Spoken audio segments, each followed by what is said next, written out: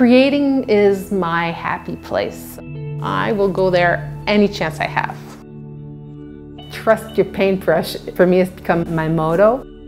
What I've learned is stop holding back. Because, wow, where can you go with this?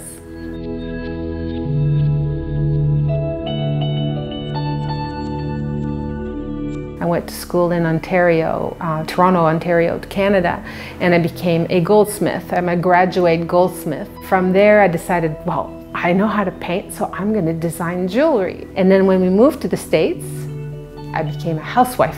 And I had stopped painting for 15 years. My husband decided to run the Boston Marathon in 2013, I believe it was, and that's the year that I almost was blown up with people. I was at the finishing line when the bomb went off. I remember getting up going, this is not a dress rehearsal. I, uh, I always wanted to paint someday, so this is the someday.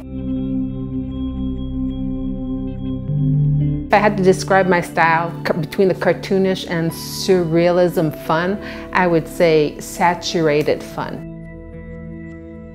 I started doing little doodads, more uh, cartoonish, and then mixed media came and at one point I was saying, I want to paint on something that I've never seen before. I'm using objects in my mixed media that are what I would call extremely ordinary and uh, that people want to get rid of. And as for the Scrabble pieces, well, it allows me to incorporate words, but not really. And you can see it. Is it part of the art or is the art on top of it? Well, it's all art. And that's where the pieces that is behind me comes from. So what's in red on it is PCH, the 55, the 73, and the 405. And I kind of put points of interest that I find interesting. It's been kind of like sculpting my ideas in reality. I want to do things that are unique and fun and that I can't wait to get up in the morning to go paint. Um, and so the city's done that for me.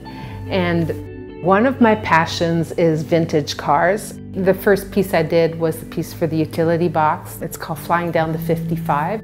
It has the VW van. Then there's a Mini on it that's purple and it uh, has a license plate that says psychedelic and it's got that sort of shimmering diamond in it and I that car is like the bomb. One of the recurring theme you'll see is the flying beagle. He's a basset hound, but who cares? That dog kind of follows me everywhere. I don't know why in my head. With Nutty Nutty Goat Hill. I wanted to do something with goat because this is Goat Hill area. I thought, okay, maybe I should do the donut shop. Red pickup truck that I see that is somewhere like on the east side Costa Mesa. And I put it all in a painting and then I submitted it to the city. But uh, the city's really kind of nudged me out of my comfort zone and pushed me somewhere else. And it's fun.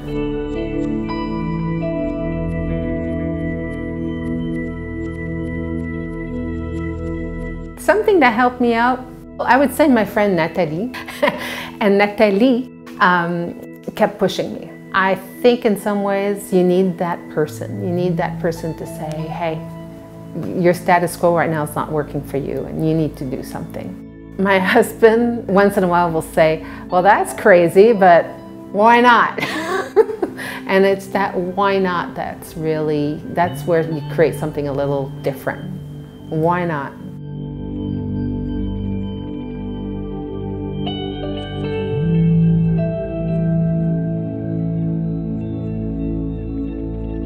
When person looks at my art, I want them to start smiling or just get, get the irony. But I always look for the positive. It's very important to me. Like I painted my dog. He's an escape artist and he's kind of a bad boy. So I painted him like with sunglasses and a jean jacket looking at you with sunglasses that reflect the beach because for him the outlook is always great. So he is a bad boy. But I want people to get it, and most of the time they do. So I want them to feel that joy that color brings me, that what I see in my head, and I want them to feel that moment.